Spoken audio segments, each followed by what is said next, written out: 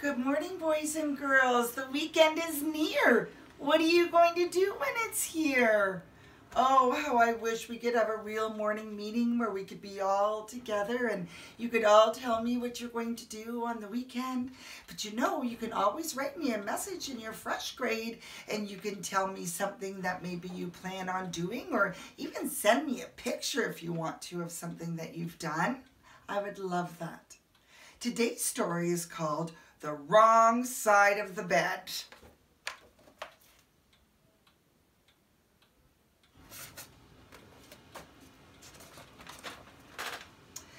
Miss Bear was a good-natured bear, except for when she first got up. Then she grouched at Mr. Bear, grumped at the little bears, and even growled at herself. Later on, she was always sorry about it too. I'm sorry I grouched, she told Mr. Bear. I'm sorry I grumped, she told the little bear. Oh, that's all right, they always said. And one day, Mr. Bear added, I guess you just got out of the wrong side of the bed. How could that be? Thought Mrs. Bear. All my life I've gotten out of the same side. It really was a puzzle.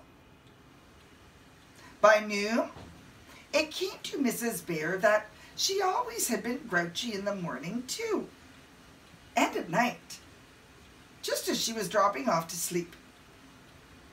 Mrs. Bear thought she knew just what was causing the trouble.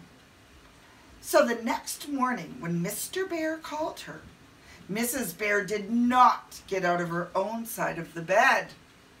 What do you think she did? Instead, she rolled a walloping big roll over to the other side of the bed.